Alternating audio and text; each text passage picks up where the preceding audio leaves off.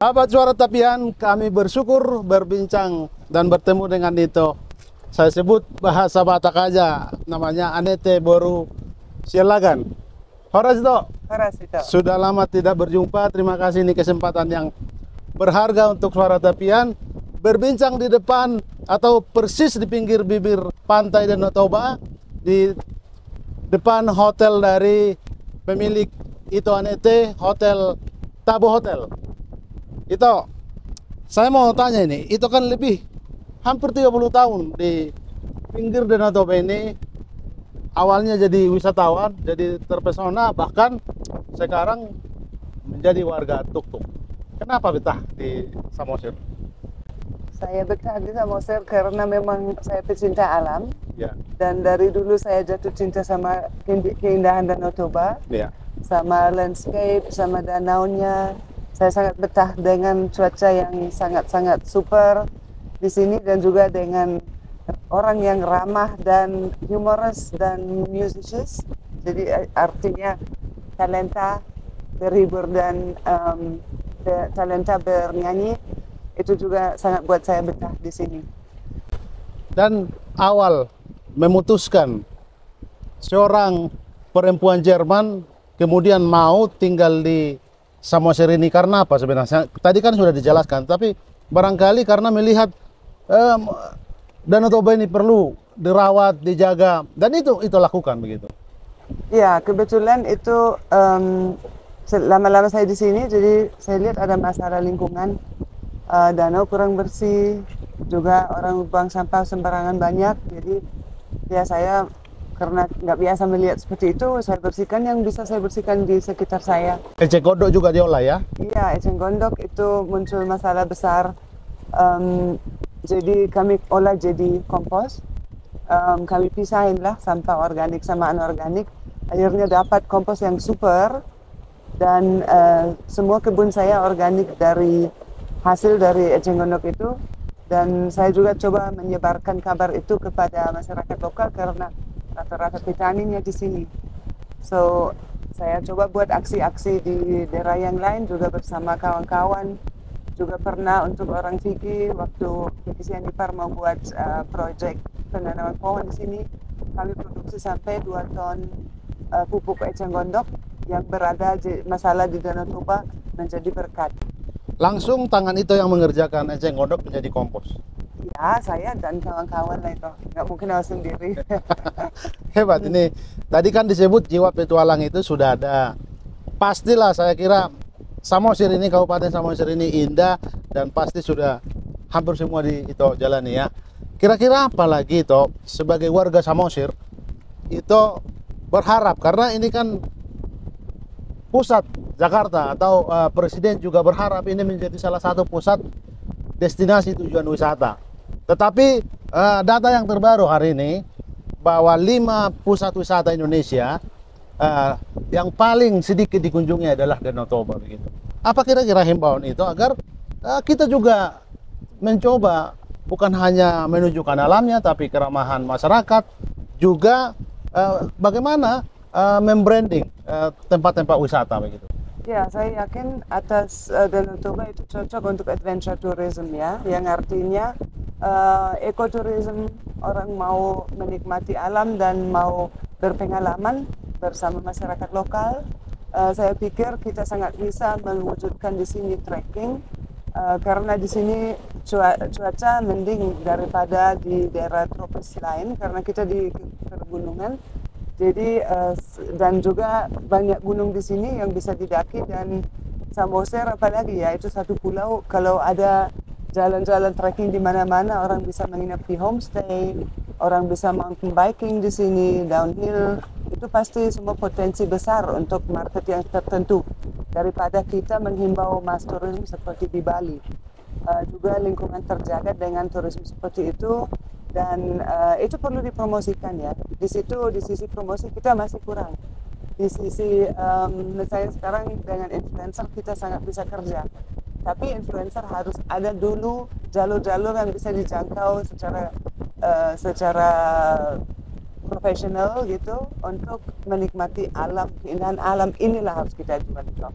Selain budaya yang memang eksis uh, itu juga sangat-sangat mendukung uh, juga kuno-kunonya misalnya kampung-kampung Batak lifestyle yang sangat tradisional sangat alami sangat uh, bio, uh, sangat ekologikal kebetulan ya di mana orang masih mem membakar uh, kayu jadi orbuknya yang disebut orang Batak sebagai pupuk dari dulu kan adalah uh, bekas bakaran kayu dan lain-lain itu semua harus dialami oleh wisatawan uh, untuk menjadi pengalaman.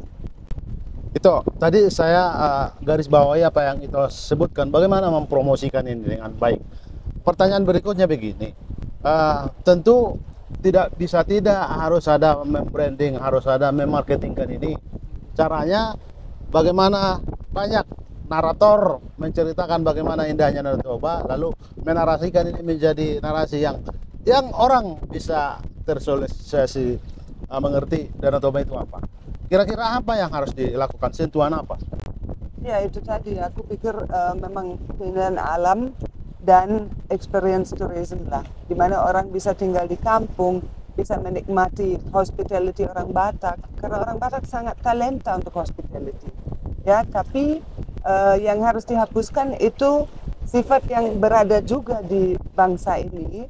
Maaf sekali kalau saya juga harus sebut itu sifat hotel memang ada, tapi di kampung itu jarang. Jadi aku lihat di kampung orang rata-rata masih polos-polos. Jadi di pariwisata kita nggak bisa terlalu congok, kita nggak boleh minta-minta, kita harus kerjasama, kita harus networking. Misalnya orang tadinya uh, jalan ke kampung A, di kampung A harus direkomendasikan kampung B, atas di situ ada juga atraksi dan jangan jadi bersaing, jangan jadi um, misalnya memotong bisnis orang lain, tetapi uh, harus dimunculkan uh, sifat untuk kerjasama daripada uh, saling mematikan. Karena itu maaf sekali kalau selama ini saya juga alami di mana itu kurang ya. Misalnya hanya kita mau coba pakai produk lokal, ya mungkin mula-mula masih bagus harga, tiba-tiba meloncat harga. Itu pernah jadi dengan pisang. Bahasa Batak itu parsalian. Parsalian betul sekali. Nah itu uh, itu betul-betul menghambat dan uh, merusak ya. Jadi sepertinya pisang toba ini sempat super di sini, sempat laku sekali. Jadi semua orang nanam. Jadi mulai dengan meninggikan harga, baru menjatuhkan harga. Jadi itu sama-sama nggak nggak bagus ya, jadi nggak sustainable ya. So mungkin uh, masyarakat lokal juga harus dilatih untuk itu ya. Bagaimana bagus kita uh, kita sustainable dan ya bekerja sama. Itu sangat penting dan juga sifat kepada tamu-tamu supaya jangan uh, kita juga terlalu congok atau kita menipu ya. Seperti adalah kampung-kampung di sini di mana orang misalnya jual ulos yang disebut buatan tangan padahal itu ulos buatan mesin, mesin. Iya. dan itu harga dan kurang bagus. ditawarkan juta-jutaan. Iya. ya jadi itu uh, semua bisa merusak reputasi Baik. Jadi reputasi dan Toba harus diperindah, harus di branding dengan Toba yang green and clean and interesting ya. Itu dia. Itu tadi uh, menyebut mau bahwa masyarakat di kampung ini sebenarnya polos. Saya garis bawahi juga tadi kata bagaimana orang Batak melayani. Secara umum kita juga mampu. Memang ada ungkapan Batak juga menyebut sidapok solo do daro. Orang Batak itu bisa menyesuaikan diri di mana pun tetapi juga kenyataan banyak juga uh, uh, semacam uh, repu, uh, resume bahwa soal keramatamahan harus kita perbaiki. Ya, uh, kita kurang ramah, artinya uh, keramatamahan ini kan penting juga, bukan hanya logak sebenarnya. Bagaimana sikap kita, jangan menempatkan para uh, turis atau wisatawan itu menjadi raja begitu. Betul. Sekali. Padahal filosofi Batak itu dia selalu harus menempatkan secara mental dia harus raja, bukan melayani nah, begitu. Itu ya. Memang ada raja, tapi ada juga boro itu. ya. Harus itu ya. Kebetulan harus kita anggap tamu yang itu yang datang itulah raja. Jadi harusnya kita uh, mem memposisikan kita sebagai boro yang lagi meladeni ula-ulanya. Baru itu pas karena kenapa harus selalu itu? Raja, ya raja. Tapi gimana di pesta? Orang kaya pun masak saksang. Orang Kalau kaya pun ya.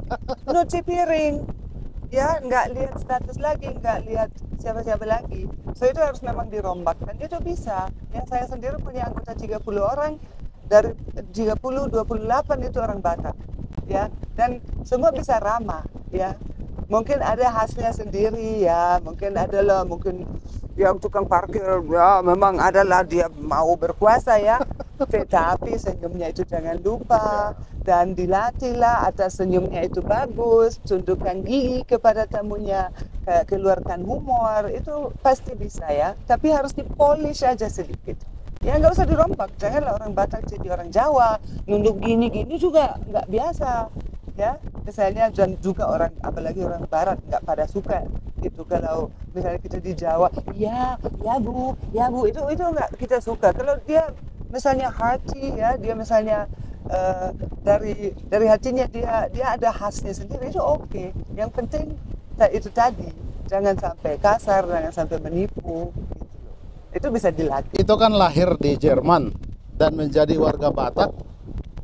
Jadi perempuan Batak diberi bor Borussia Lagan dan menikmati menjadi orang Batak. Pertanyaan saya itu, orang Batak itu sejak dulu sudah terpesona juga dengan Jerman.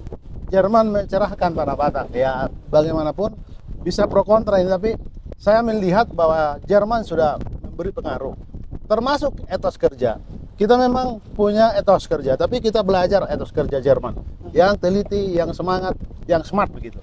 Apa kira-kira yang itu bisa duplikasi untuk sebagai orang uh, yang pernah mengalami hidup di Jerman dan ingin hidup di tanah Batak begitu? Nah itu pasti pasti sangat-sangat beda ya sifat kerja dan uh, bagaimana kita responsibel, bagaimana kita jujur. Uh, misalnya kenapa German products begitu terkenal? Misalnya keluarga saya banyak di steel stainless steel business ya jadi di situ ada campuran ada yang lebih mahal ada yang uh, lebih murah gitu nggak mungkin ada yang korupsikan bahan yang mahal sehingga steelnya itu jadi jelek nah itu makanya German quality dipercayai dan gara-gara itu jadi German car bisa bertahan sampai 30 tahun ke atas karena dia jamin dia ada jaminan. Jadi uh, itu semua uh, ya karena orang pun segan. Misalnya coba kita coba menipu atau kita coba men, bikin produk yang kurang bagus pasti malu sendiri nah itu mungkin uh, memang saya pikir bagus sekali kalau bisa banyak exchange ya. Kalau orang bisa banyak traveling orang bisa berpendidikan di Jerman dan lagi ada program untuk pendidikan di Jerman ya. Itu sangat bagus. Anak saya ada ada dua orang yang uh, yang uh, satu kuliah satu, satu kuliah di bidang eko, ekologi satu lagi uh, chef jadi dua-duanya mau kembali lagi dan memperbaiki. Anaknya warga Silalahi ya. Nah dua-duanya mau datang memperbaiki Danau Toba ini. Jadi aku pengen sekali lebih banyak anak muda di Batak ini mau coba untuk hidup di sana melihat membandingkan dua dua sisi ini uh, bagaimana Jerman apa kekurangannya apa ke, apa lebih bagus. Karena di sini banyak juga kelebihan kenapa aku mau di sini? Kenapa aku mau di Jerman? Karena banyak hal yang buat saya lebih betah di sini. Tetapi sifat sifat Jerman itu silahkan ditiru. Oke yang baik ya. Iya. Oke ini pertanyaan. Kemudian karena kita backgroundnya nih hotel yang kita uh, dirikan dan kembangkan dan eksis sampai sekarang ah ini bisnis mengelihat terus. Apa kiat yang itu lakukan? Ya aku mulai dengan, dari kecil dengan bangunan uh, restoran yang terbuka natural. Um, ada bak bakeri. Bakeri Jerman saya belajar sendiri. Saya dari kecil aku suka masak-masak roti Jerman. Um, dan saya buat vegetarian restoran dulu. Um, karena ada niche market ya untuk itu. Sekarang itu lagi ada juga uh, kami sudah berubah jadi uh, international restaurant dengan daging ayam dan ikan juga tetap masih kita nasional um, tetapi aku lihat marketnya lebih ke situ market orang yang cari penginapan karena kita pelan-pelan bangun penginapan jadi saya pikir untuk um, pertama ya ada niche ada artinya yang belum ada di tuk-tuk ini suatu hotel yang lebih unik kita gunakan rumah batak kita merehab rumah Batak uh, yang tua menjadi kamar yang sangat comfortable ya, yang sangat-sangat um, punya khas sendiri. Uh, orang apalagi orang barat sangat suka kayu-kayu, kesan kayu-kayu dan suka recycle karena kita nggak gunakan kayu baru tapi kayu tua. Uh, dan rumah itu jadi terawat daripada di kampung dia sudah mau rusak karena nggak dihuni lagi. Nah itu pasti satu khas di uh, Cottage. Yang kedua mungkin um, ya dengan ya, sifat saya atas kita harus excellent service.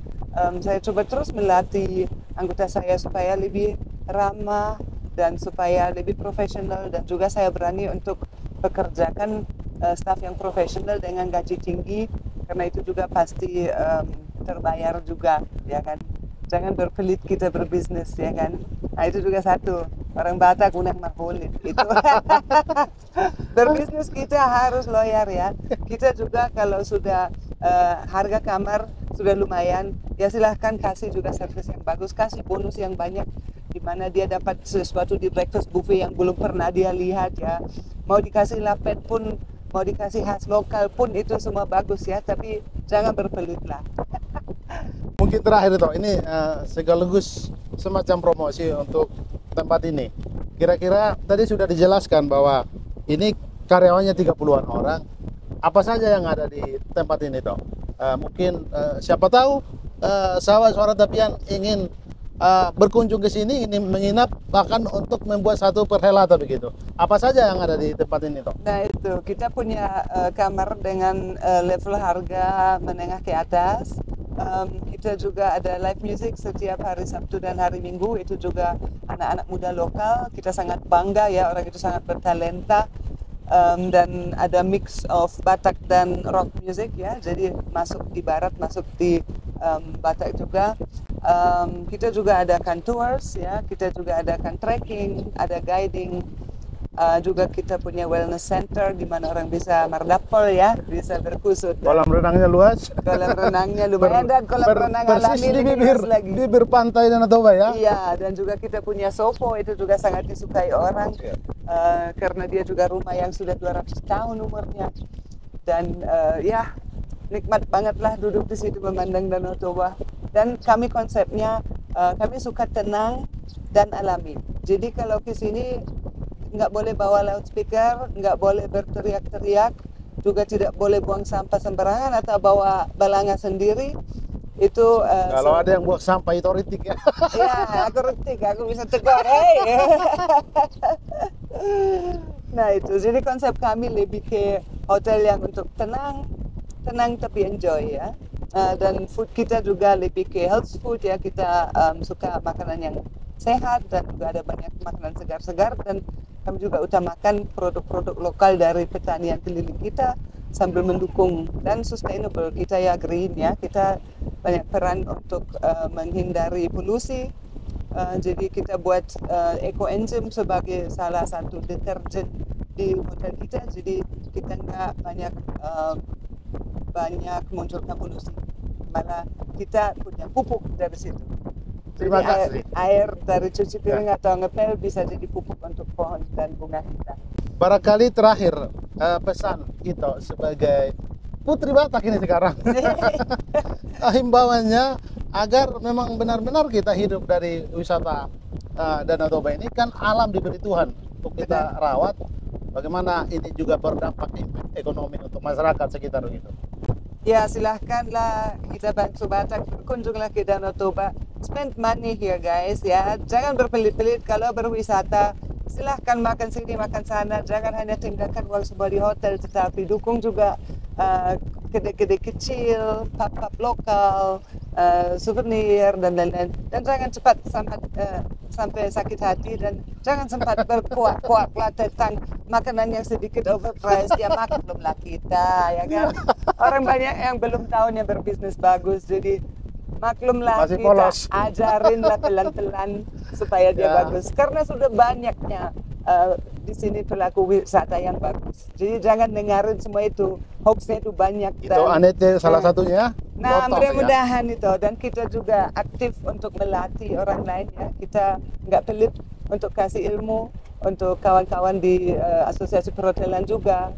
Saya selama lima tahun juga eh, ketua di asosiasi dan saya coba semua eh, Asosiasi di teori- Samosir? Iya. Oke. Semua teori saya, kenapa tempat saya bisa maju, saya coba sharing sama kawan-kawan lain dan supaya juga dia invest dan juga dia perbaiki sampai dia juga layak dan uh, berkualitas. Jadi silahkan datang ke Danau Toba guys, enjoy. Terima kasih toh Anete sudah memberi waktu untuk suara tabian. Horas, boleh Horas.